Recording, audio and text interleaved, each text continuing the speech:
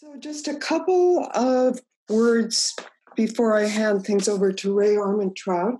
Rae and Armand, Rae Armantrout and I, Jeanne Heuving, started this series uh, almost two months ago now in response to the sheltering in place.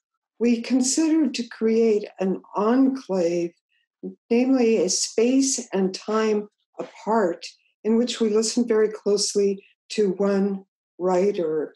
And we also try to give significant introductions, or at least good introductions, to the writers as part of what Charles Bernstein might call close listening.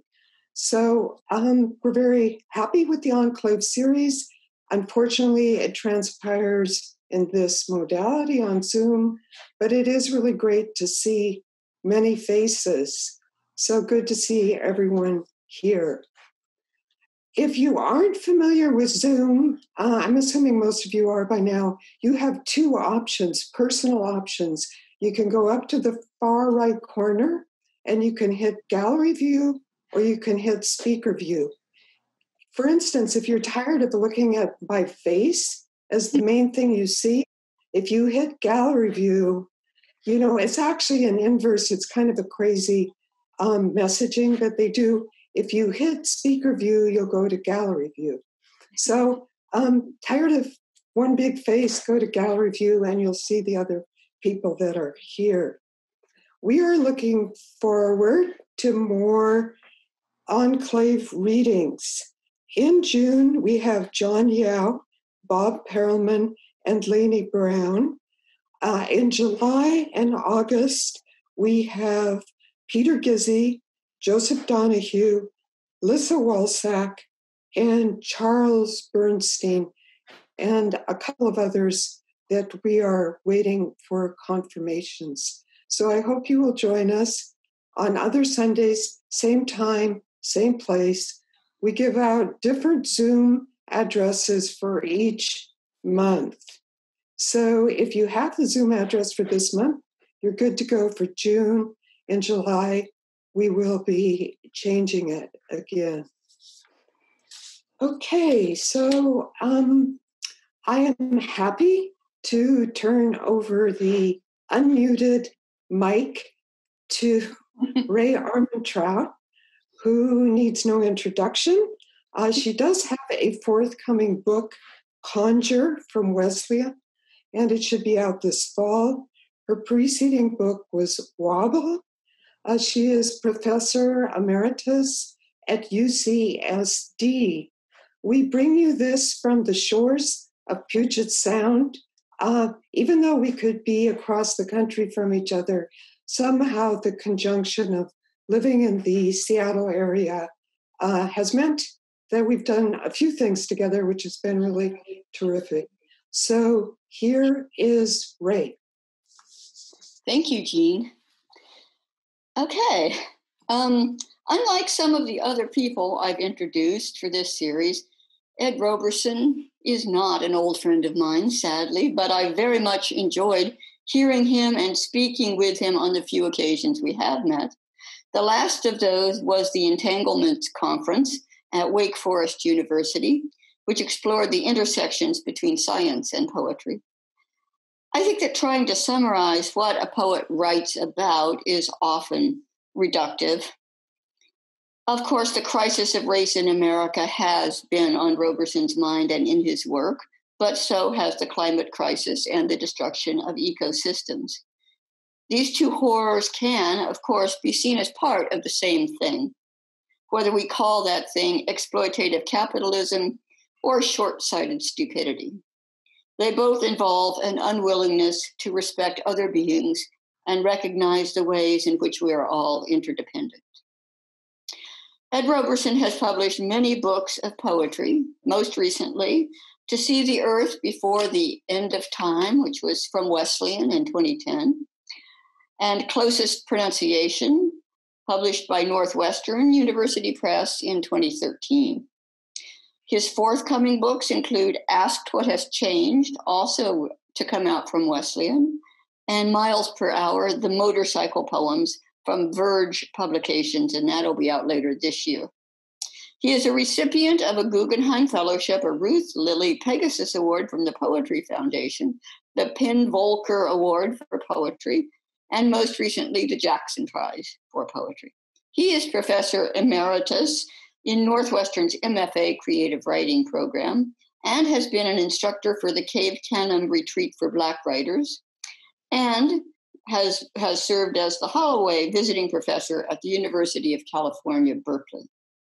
Nathaniel Mackey has praised the way Roberson's, quote, labyrinthine, syntactically double jointed lines work at a nervous, disconsolate pitch, peculiar insight, and double angle, which is something I appreciate.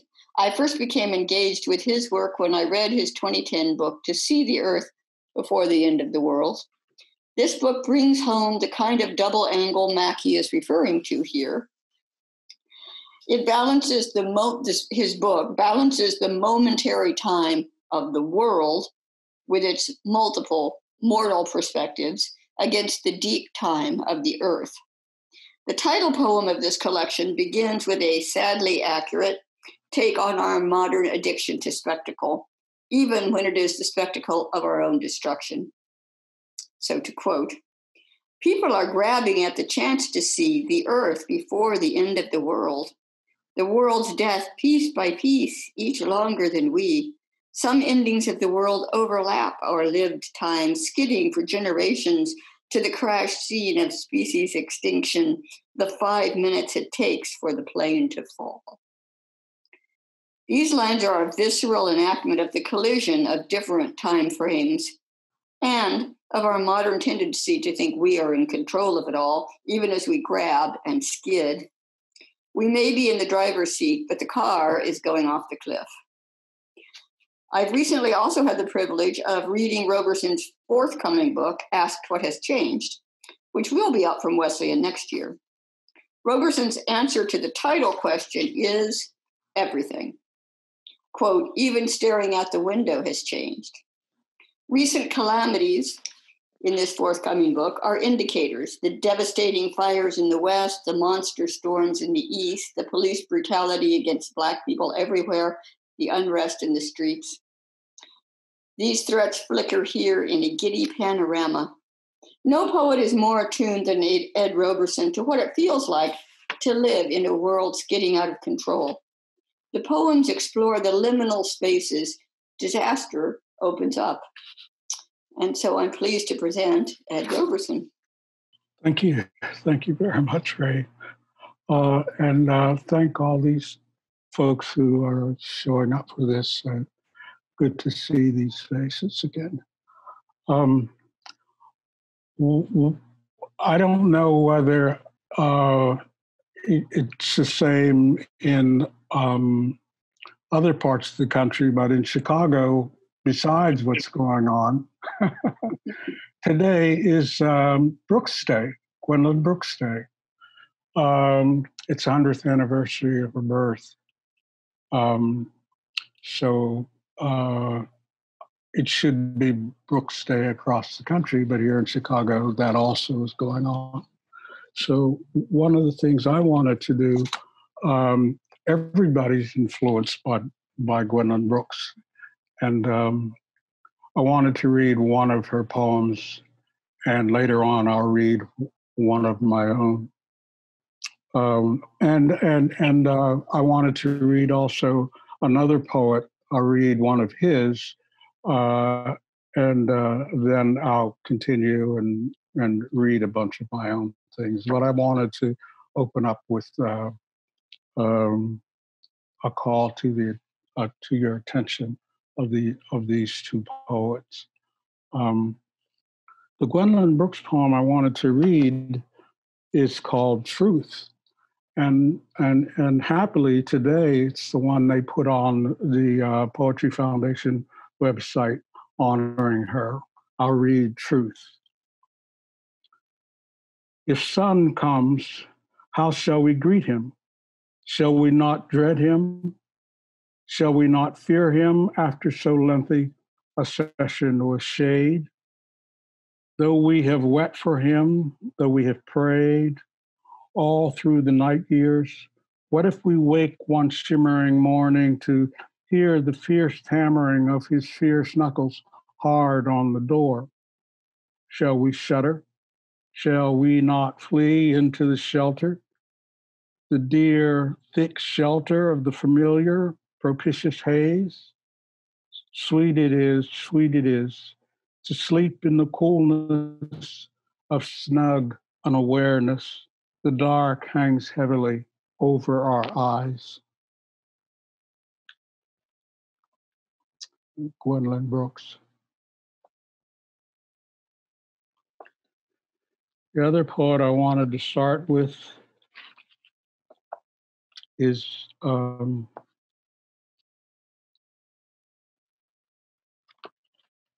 Gil Scott Heron.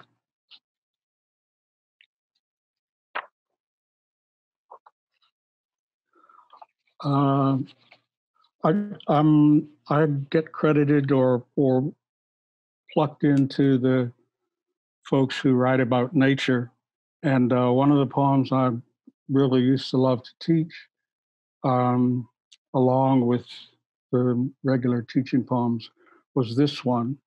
This is called Winter in America, and it's Gil Scott Heron.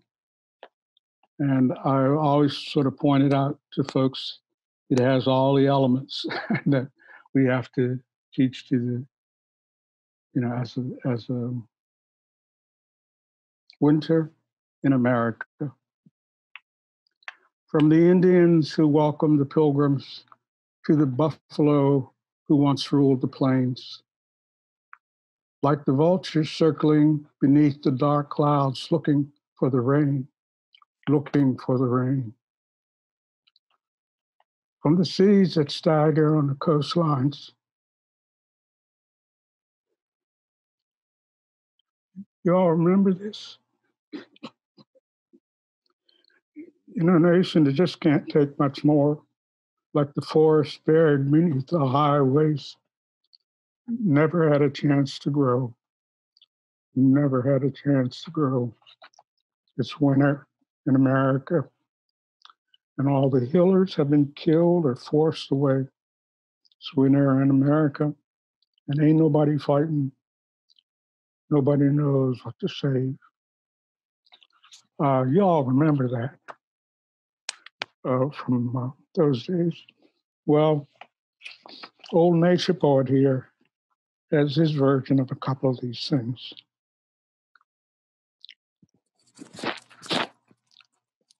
Uh, the other morning, I usually get up at sunrise. The other morning, I was fixing an egg and I looked out at the lake. And uh, we got this poem Their Daily Yoke. Their Daily Yoke, yep. Funny, that little yoke, sunny side up in the span of the lake. Every morning for breakfast bubbles up? Great hen lays this egg on us, on us. Now that's funny. This burden of respect. What shining flight or light are we to prove our ancestry with the sun? What throwback are we to cook up?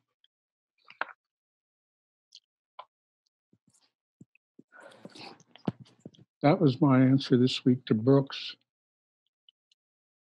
And my answer to Gil Scott was always hard to deal with. Summer's song, strophe, faraway trains, distant planes, the din permeating streets of traffic sounds. But summer coming round rings up the close ruckus of the landscapers lawnmowers the size of unnoise regulated small cars, go karts, stand up motorcycles, the walkabout edgers, the angry cutting blowers all day, cut off any sound of birds. We yell to each other our song of greeting, any conversation impossible. The city municipally advertising of its green broadcast overtax perception numb. horizon to horizon. And dystrophy, horizon to horizon, the guns draw on what we're too easily known for the poor drawing on their own in drive by, showdown, or any run gone bad. The empty handing over only more empty, the boarding up another store. A different kind of overburden still does not respond. A silence, all so clear, but unconnected to its senses, its sheer turning away, making deeper, more deviant a kill. Trees kept so in line, they all die at once, whole planted blocks. Lawns without temperature, range of tolerance, go brown and die before the black bitter earth receives its rain of promise. The promise this contradictions of droughts rains us into, this noise and stillness, this not listening and not being heard, that this too much and empty be brought harmony should rule our compass into that circle of self containment of which the rainbow, the arc, has always been all of our sign, our covenant, with the larger whatever below the horizon out of sight.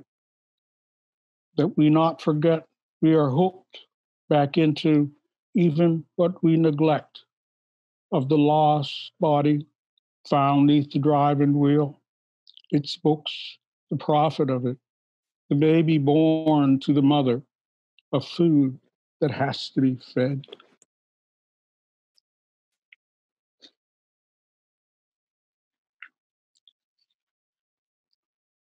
Noise complaint. I hear it, but what is the instrument that voices the flashing red light strain, which no rung, gauge, twisting the possible could and not implode out of existence? We all know. I have a few things that need said. No humans have gone without saying how hard and deep a deal this being has cut. The sun rises straight down the hall on the bathroom mirror bevel, rides the walls, waving prismatic rainbow. Festoons straddle the edges of doors, orgasmic knees crunch a prayer spectrum, compress the screaming brilliance.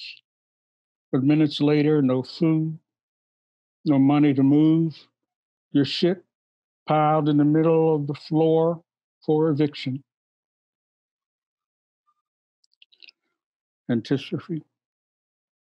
The driving arm of the cello section runs, the white hot lightning strokes headlong, tearing out the track as the way the music goes.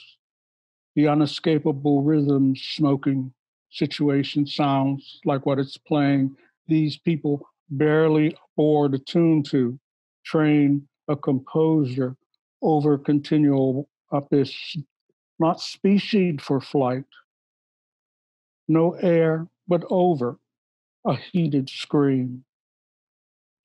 One old blues sounding line hums up some shit so deep, very chaos of it all fell in for the time, being a sooted black life suited the burning cities, the streets, fashioned of the latest survival, that hot hit.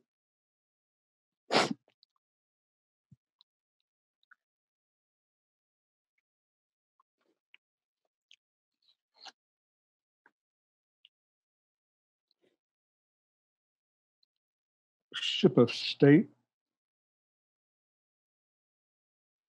Some people in this country find themselves below the surface of a content that never intends to fill any container, not even full or otherwise, just black.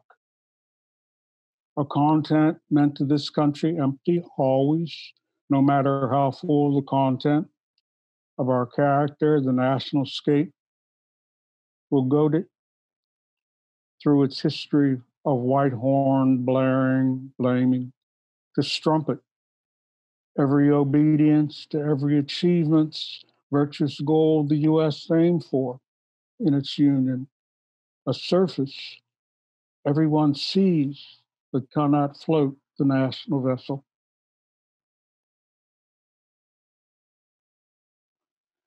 A counterfeit of waves that can't define themselves into what holds up their ideals, even when they happen besides themselves, the obvious neighborhood living out right next door. Not an example they'll take home, but rather burn a Tulsa down to trump that.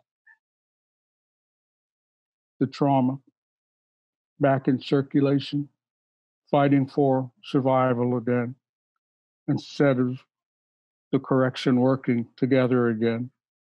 The corrections, not in the laws, words, but the heads of the interpreters in the honest unnegotiation of the compromises of the principle.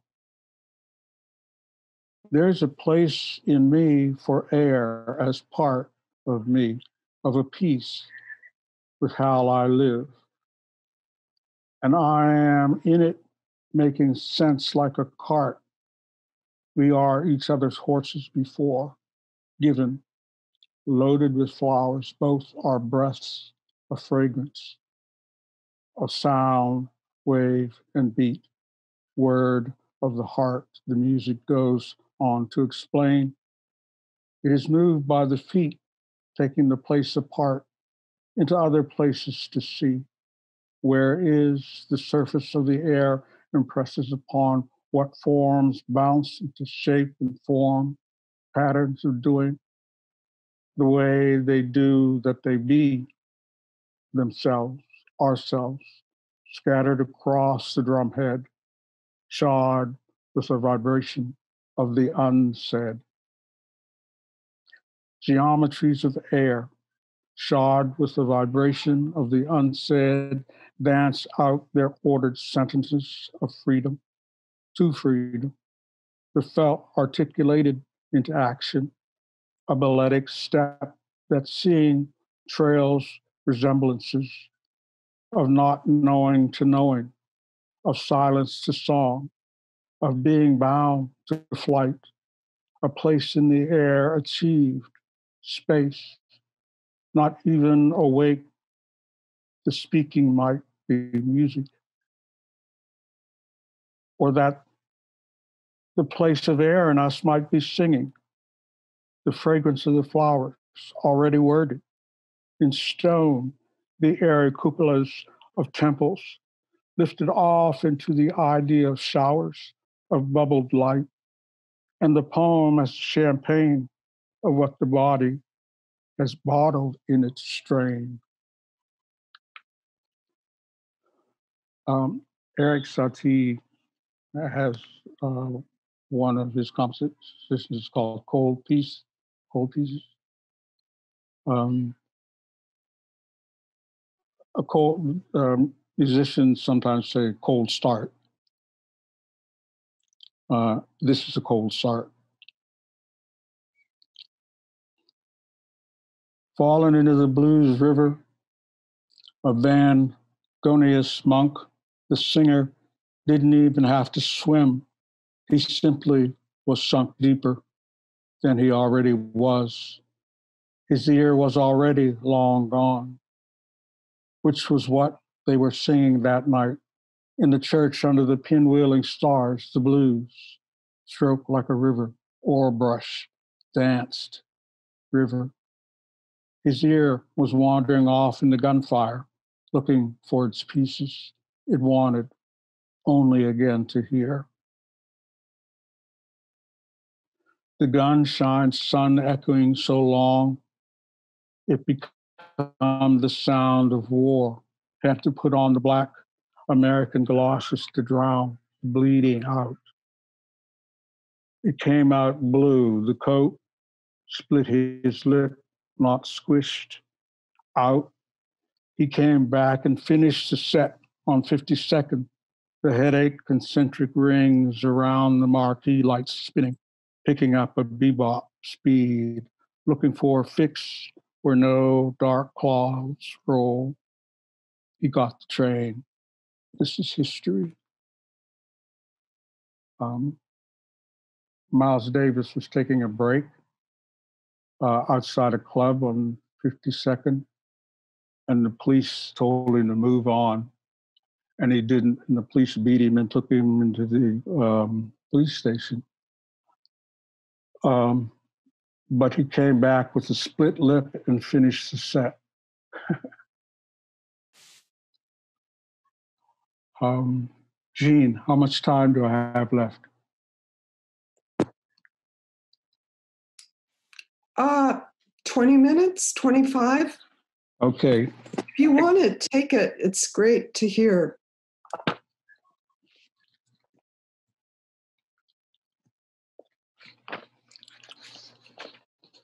Um, these are um, these are from 20 aquarium works. Um, uh, I'll read uh, four five. I'll read about six of them. Uh, aquarium works. I, I was a diver at um, the um, public aquarium in uh, Pittsburgh, the Aqua Zoo, um, and um, sort of like Frank O'Hara's lunch poems. These are like um, remembering what goes on at work uh, only about 40 years later. uh, 20 aquarium works. When the shipment from the Amazon arrived out of quarantine, we ran up to watch it from the roof, crest the hill from the airport, and lined up to help unload it to the, tra- to the tanks. The piranha dove to the bottom of plastic bag and bit the shit out of Bob's hand. Everyone remembers George's eyes when the shippers handed him a caiman alligator to carry. The new world sound of Herbie feeding his rattlesnake sent me down the hall. But George, it drew him like a smell of bacon. And here he was, the taped mouth longer than his arm of a crocodile or alligator or whatever in his arms.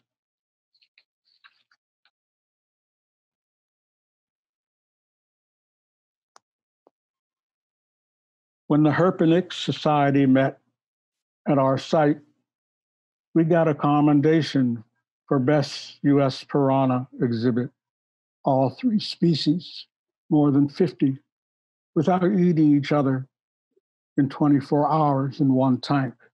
I fed those little fuckers for weeks up to the meeting. When they're breeding, colors lit up. I got worried, but they were too satisfied to even feel challenged and put off eating each other to narrow divine fullness for a mate and ate into the abstract rhomboids and blacks and reds, prizes for themselves, how breeding shape can be the colors of just beautifully healthy. Those are the three species of piranha. Um, the uh, red, black, and white species. Um, the uh, the black, uh, black piranhas are big, um, huge teeth. The rhomboids are the whites, and they're uh, the white piranhas uh, they're rhomboid shaped, um, not like the black and the reds, which are big, blunt headed ones. Um, but they didn't eat each other.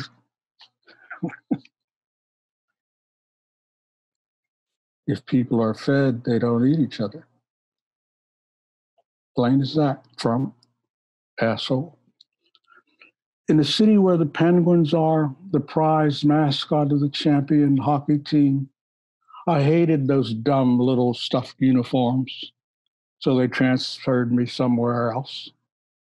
The Emeralds, BOA, did not declare the blue and pinks it smuggled in its design green. Compilation more P than emerald. Nothing we understood except as deterrence, within which dazzling light you allowed it to swallow you which made more sense than standing in a tuxedo, waiting for someone to slap your mouth with a fish. Having been a feeder, how we feed, the goal determines a lot with me.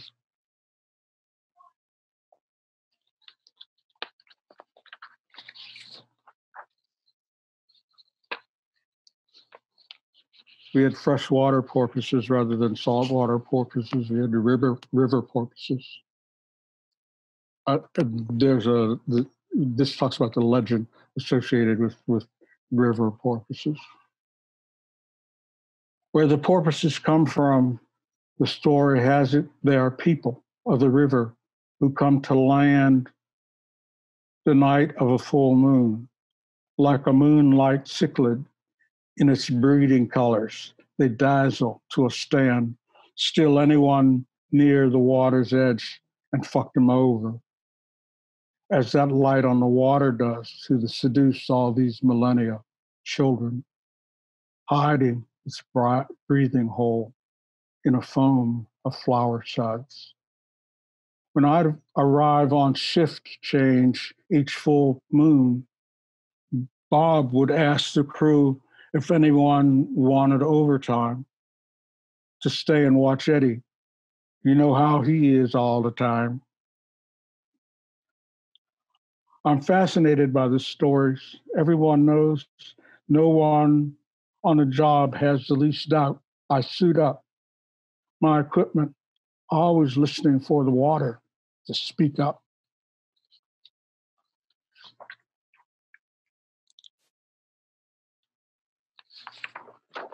I probably left with a breathing hole on the top of my head that I covered with the flowers of story. I never thought to look, always open to what, as the story is told, keeps us alive. When I left with this other job I have now, which swimming through some days leaves me awash on the rim edge of a tank overflow not a bank waiting, beauties open to hold each other's breath, each of our world's life, opening hip talking the other. I never thought what songs, what stories disappear and re enter the river new now. Moon, moon, tell me, I'm listening. Listen.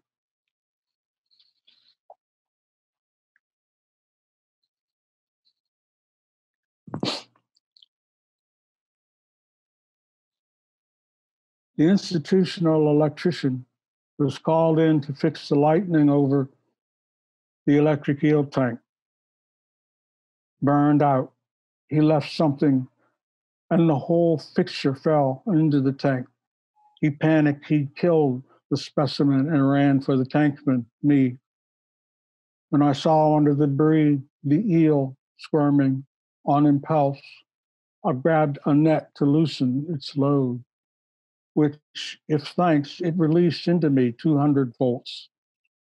This limbless body extends beyond its eel into water. The hand of water shakes me, its thanks harder than it doesn't know. We don't shake through a net of non conductive rope on a metal pole yet. The electrician went wider than himself when he saw me fall over from the hit. This thing is real. It really is. Electric, yes. This is the animal of the self of God you work with, you are practitioner of. just dropped in from behind a curtain of water through. It's me to let you see the fur of blue stars. It's waved like a Jacob's ladder laying up as an oscillating ocean wrestling distance to dispersal that few get to see, to see their essence naked as could be. You, maybe also me, the disjuncture of the carrier dismantled. A moment both message and messenger burned black. I stand by my oath to the crossing. Nothing is over until I shall be free. That grinding vibrato at the end of their pained most notes in a song that the deepest blues singers don't pretend, pretend not being shaken into wrong sound. This abstract truth is not found out, shaken into the open.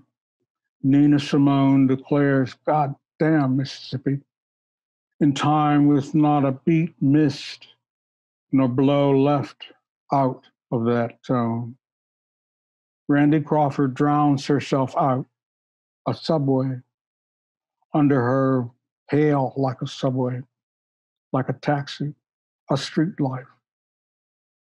And Eartha Kitt drips it like diamond, cafe au lait, spit in your face, nigger back from Paris with rights. Josephine, shake your bananas. She lets you know hers are carrots. The white monkeys don't stop no show. That's it, Jeanne. Uh, thank you very much. I'm going to unmute Rae or ask her to unmute as well. That was a fabulous reading. We're very grateful for your poetry and for your reading to us today. And much to be learned from your work. So thank you very much. Thank you for coming. Thank everybody. Thanks Thank you, Ed. That was wonderful. Thank you.